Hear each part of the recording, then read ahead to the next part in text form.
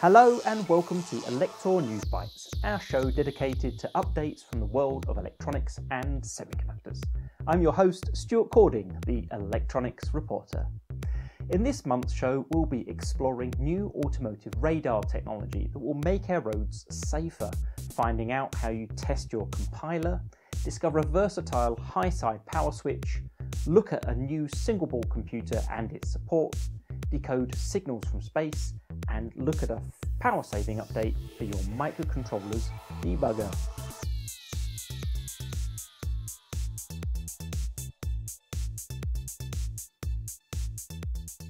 But first, the outlook for chip deliveries remains grim for some businesses, with many continuing to complain about long lead times across the entire spectrum of semiconductor devices. But things may be starting to look up. In a recent report by KPMG, 65% of industry leaders interviewed believe that the supply shortage would ease in 2023, while just 20% thought it would last into 2024.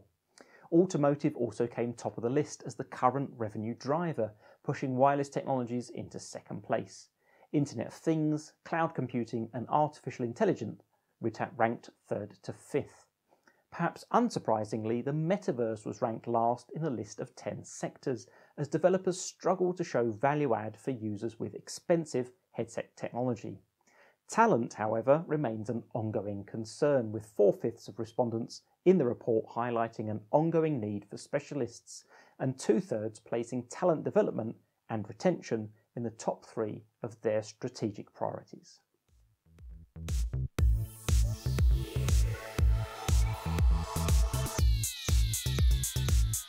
Solid Sands, the world leading testing and qualification technology provider for compilers and libraries, announced a major new update to SuperGuard, their requirements based test suite for C standard libraries.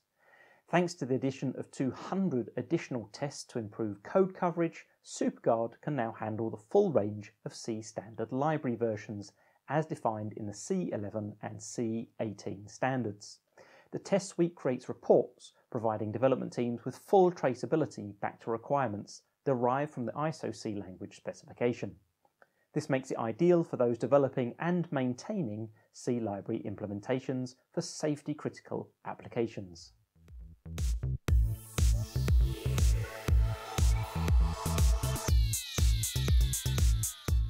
Controlling inrush currents in high power applications is a challenging task, but this situation may have got easier with the introduction of the AP22980 from Diodes Incorporated.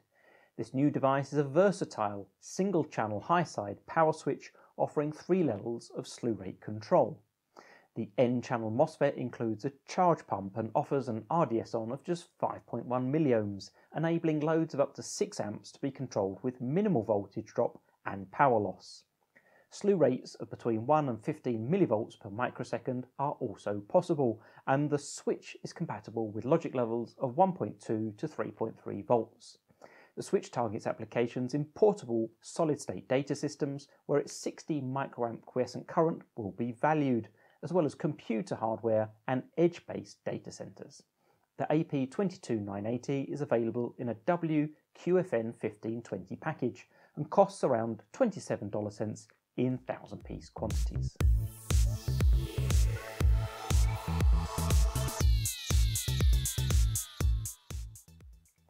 Raspberry Pi is often the focus of developers when searching for single board computers, but as is often the case, others are looking for a piece of the action too.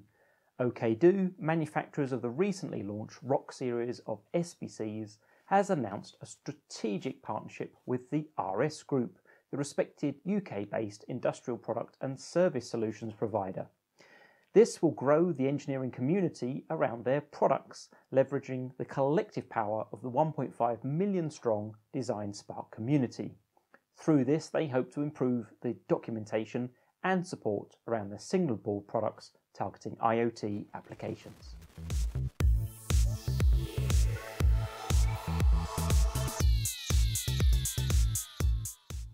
Space exploration has been back in the news with NASA's successful Artemis 1 mission.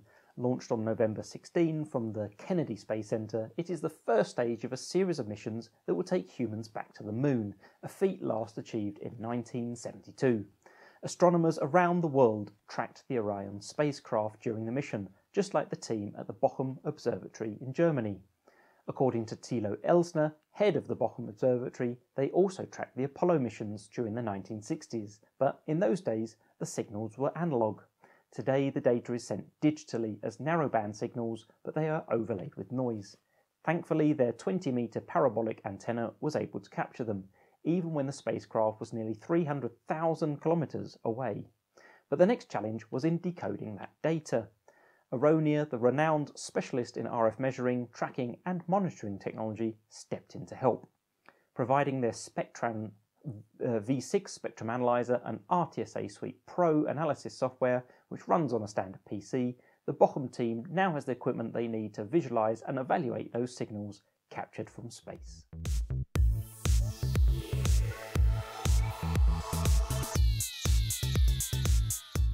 The cost of energy is constantly in the news as its price continues to rise, but thanks to a software update, your debugger's contribution to your electricity bill may now be lower. Segger Microcontroller, the embedded systems specialist from Germany, have added standby and eco modes to their popular line of J-Link debug hardware. Through a combination of dimming the device's LEDs, reducing clock frequency, and features of the EMBOS Ultra operating system, power consumption can be reduced from 1 watt to around half a watt. The new power saving modes can be optionally engaged by the user and have no impact on the debugger's performance. While the power saving seems minimal, it actually results in a 5 watt hour saving each day at your computer's power outlet. Across 100,000 J-Links, this delivers a 500 kilowatt hour reduction, enough to power 50 German households.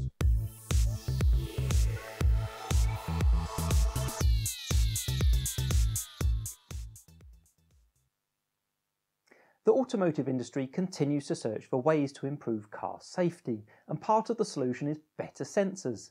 I spoke to Matthias Feulner, Senior Director Marketing for Automotive Radar, to learn more about their new SAF 85 family of single chip radar.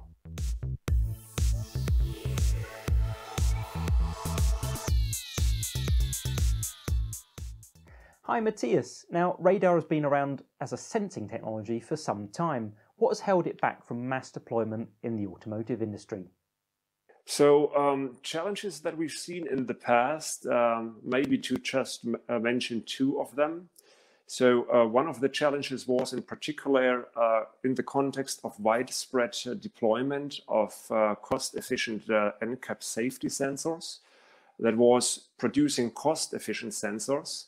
And the introduction of RF CMOS for automotive radar was a key turning point.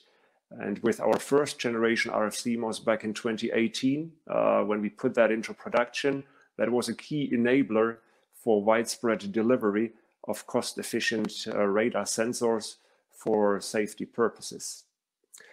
The other item I would mention is that traditionally radar sensors, they've had a very limited uh, resolution capability, different from cameras but we've seen that change in the past years. So radar has made progress enhancing its uh, resolution capability, enhancing its capability to detect two objects closely situated next to each other and separate those objects.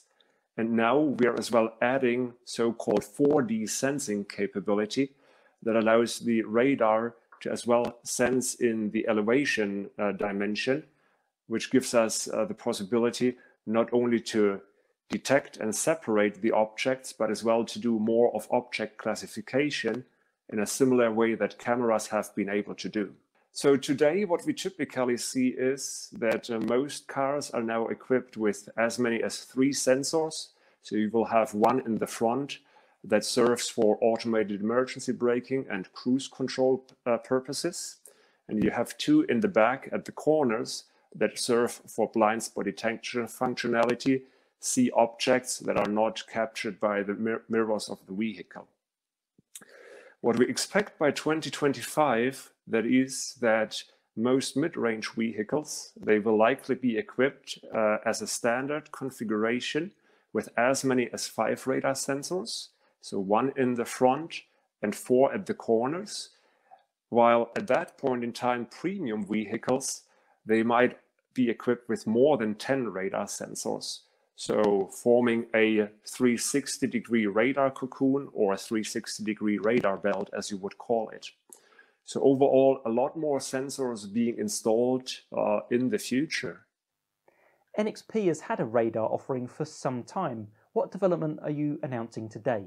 So today's announcement is about a true single chip radar, which integrates in a 28 nanometer RF CMOS process uh, both the transceiver, both the millimeter wave front end, as well as the digital processor, the radar MCU, that used to be done previously in two different chips because uh, historically you would pick the ideal processes for the digital processor on the one hand and for the millimeter wave front end on the other hand. Now that we've invested pretty early on into RF CMOS in 2018 already with our first product release, having introduced our second generation RF CMOS to production this year, and now stepping it up once more with the 28 nanometer RF CMOS single chip, the first 28 nanometer RF CMOS single chip in the market. That actually allows us to get sufficient performance for both the digital processing as well as the millimeter wave front end into a single chip.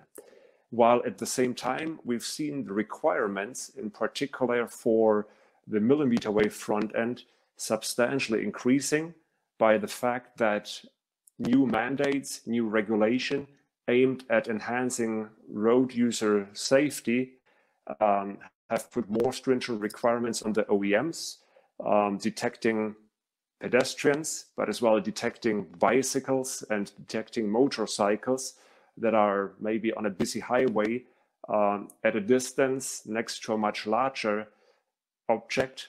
Think about a truck, for example. So we see often requirements nowadays where we are expected to detect and separate a bicycle like 140 meters or more away from the car that is next to a truck on a busy highway driving at high speed. We often see autonomous vehicles kitted out with LiDAR and camera sensors. Will these radar devices replace those technologies?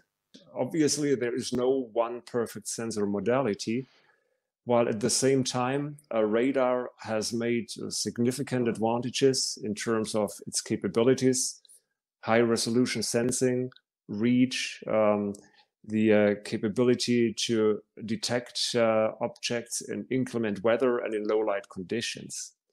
So for that reason, what we expect is that radar going forward will continue to be very much complementary with camera and camera traditionally great for perception, but now with the advantage uh, of uh, higher resolution radar, we as well get more of a radar based perception that allows us to not only detect and separate objects, but now introducing 4D sensing, as I said before, we can as well sense the vertical, uh, the vertical dimension, which allows us to more accurately classify the objects and determine whether it's a bush or whether it's a pedestrian or whether it's a curbstone or something else altogether.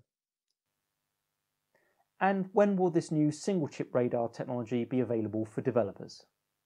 Good question. So we are sampling the product to a number of customers right now. So we have uh, customers developing radar sensors as we speak, and uh, we'll see uh, first OEMs uh, start production with sensors based on the SAF 8500 during the course of 2024. Matthias Feulner there from NXP discussing the SAF 85, their latest automotive radar sensor. So that wraps it up for this month's episode of News Bytes. If you'd like to learn more about the technologies highlighted, check out the accompanying description and links.